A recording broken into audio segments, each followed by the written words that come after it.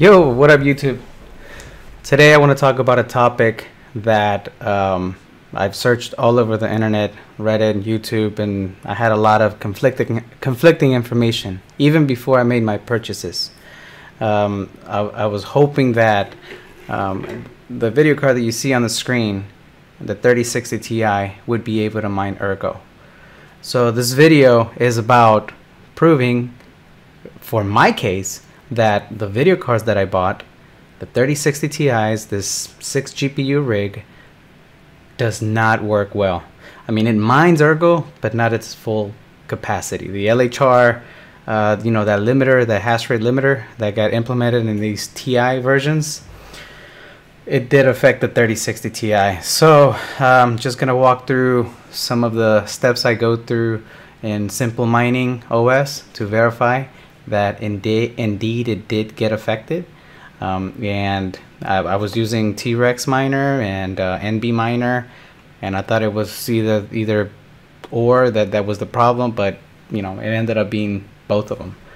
And I saw a couple of other videos from other folks that actually had the same results, and some other people on the internet claim, "Oh no, it works," blah blah blah. Um, so we'll we'll give it a spin. All right, without further ado, I'm gonna go to my Simple Mining OS um, tab over here and I'm going to configure my 6er GPU uh, into a uh, Ergo mining machine. So T-Rex Ergo and the overclocking setting that I have is uh, what do I have? Uh, 3060 uh, Ergo. Okay. Um, so I'm to do this. I'm to save and I'm to reload. And I'm to show you here that for a split second, it actually mines at its full capacity, so to speak.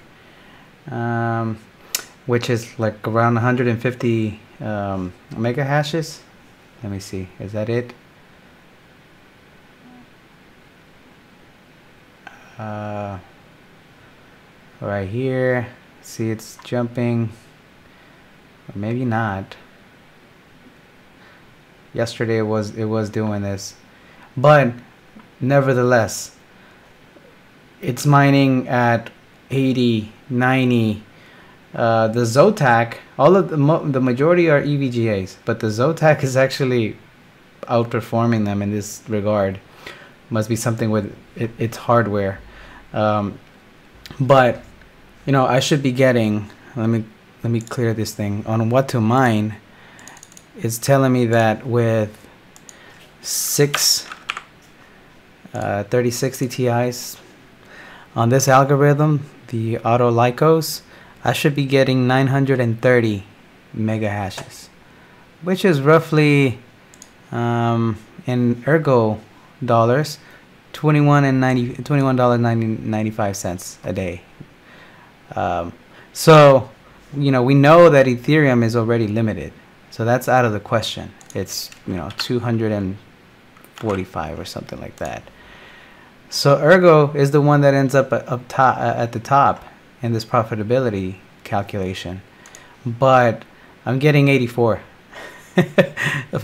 550. So it did get limited. I'm not getting anywhere near 900 at all um, and I can I try different settings.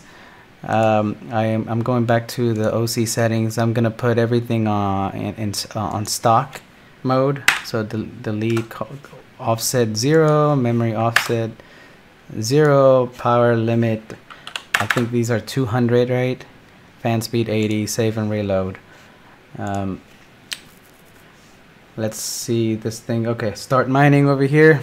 It's it's executing. It's reloading my rig. So we'll see. Excuse me. Alright. Maybe it'll jump into that little full potential. There you go. You see that? 153, 153, 149, 153. Boom, 147, 124, 111. Live data right here where the LHR uh, restriction kicks in. And this is before any of the overclocking settings have kicked in because it's got like a 60 second timer it's just unfortunate um, in that regard. If you're an Ergo fan, me, I'm a. I bought these specifically for the Ravencoin um, KawPow algorithm. I will be mining Ravencoin. I'm a fan. I've always been a fan, and I'm gonna stay a fan.